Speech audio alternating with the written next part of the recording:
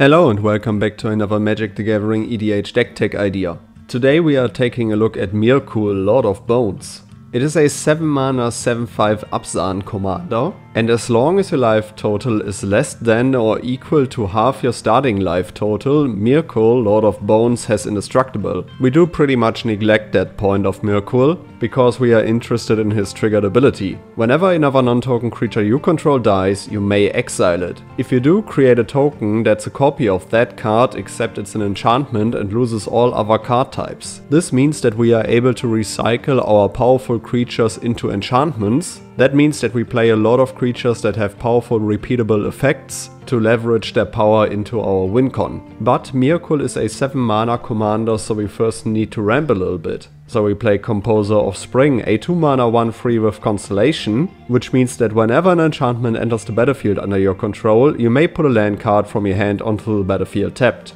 If you control 6 or more enchantments, instead you may put a creature or land card from your hand onto the battlefield tapped. This card does it all for us. It helps us in our early game, and even in the late game it is a very powerful creature, and if it happens that we turn this one into an enchantment itself, we will be able to keep repeating this process of constellation over and over again, which is a lot of value for us. We also play Destiny Spinner, a 2 mana 2 free, and creature and enchantment spells you control can't be countered. So even if this creature gets removed at some point while we have Myrkul on the battlefield, we will turn it into an enchantment, which will then protect our creature and enchantment spells by not being able to counter them. For 4 mana, target land you control becomes an XX elemental creature with trample and haste until end of turn, where X is the number of enchantments you control. This activated ability can also be very helpful for us to at some point create an overrun effect. We also play Dryad of the Elysian Grove, a 3 mana 2-4 and you may play an additional land on each of your turns, which is definitely what we need in this deck, and lands you control are every basic land type in addition to their other types, which can also be quite helpful if you're playing this on a budget land base to turn all of your lands into every other basic land type.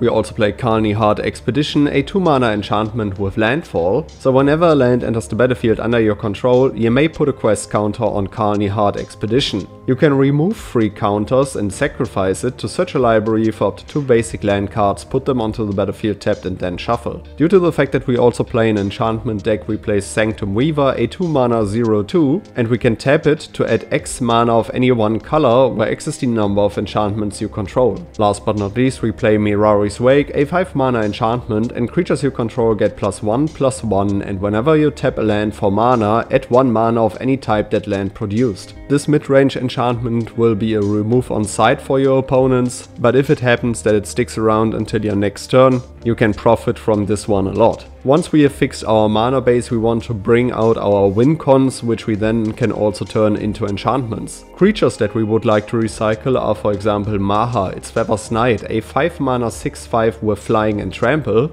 It has ward, so your opponents have to discard a card if they want to target it, and creatures your opponents control have base toughness 1. A great combination with Maha is Elesh Norn Grand Cenobite, a 7 mana 4-7 with Vigilance, and other creatures you control get plus 2 plus 2 and creatures your opponents control get minus 2 minus 2, which is basically a permanent board wipe for your opponents if it happens that you have Maha and Elesh Norn on the battlefield. To be able to recycle more creatures in our graveyard, we also play Sheoldred Whispering One, a 7 mana 6-6 with Swamp Walk, and at the beginning of your upkeep, return target creature card from your graveyard to the battlefield. And even more powerful is her other triggered ability, at the beginning of each opponent's upkeep, that player sacrifices a creature. This is another great way to keep the board in check, because your opponents will have to sacrifice their creatures over and over again. Another powerful stacks piece that we want to play is Drana and Linvala, a 4 mana 3-4 with flying and vigilance, and activated abilities of creatures your opponents control can't be activated. Drana and Linvala has all activated abilities of all creatures your opponents control,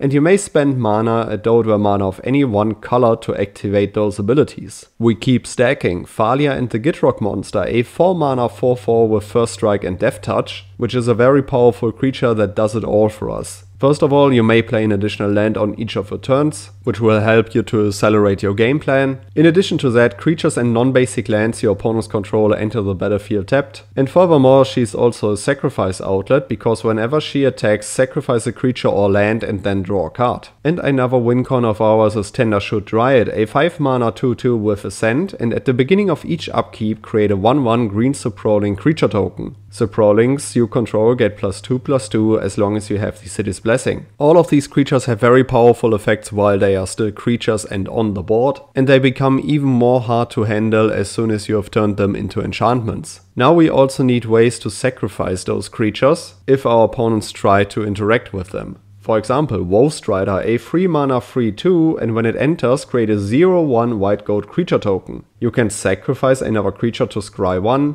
you can also cast this card from your graveyard by escaping it for 5 mana and exiling 4 other cards from your graveyard, and when it escapes, it enters with 2 plus 1 plus 1 counters on it. You also play Ashnod's Altar, a 3 mana artifact, sacrifice a creature to add 2 colorless mana. We play Viscera Seer, a 1 mana 1 1, and you can sacrifice a creature to scry 1. Of course, we play Carrion Feeder, a 1 mana 1 1, it can't block, and you can sacrifice a creature to put a 1 1 counter on Carrion Feeder. And even more powerful effects are for example Flare of Fortitude, a 4 mana instant and you may sacrifice a non-token white creature rather than pay the spell's mana cost. And until end of turn your life total can't change and permanents you control gain hexproof and indestructible. We also play the black version of it, Flare of Malice, a 4 mana instant. You may sacrifice a non-token black creature rather than pay the spell's mana cost, and each opponent sacrifices a creature or planeswalker with the greatest mana value among creatures and planeswalkers they control. You want to win more? You get it. Myrkul allows us to play some very cool interactions. For example, Devoted Druid, a 2 mana 0-2 and you can tap it to add 1 green mana. It also has an activated ability, you can put a minus 1 minus 1 counter on Devoted Druid to untap Devoted Druid. As soon as we have turned Devoted Druid into an enchantment, you can use its activated abilities to constantly untap it by putting an infinite amount of minus 1 minus 1 counters on it, and with that also create an infinite amount of green mana.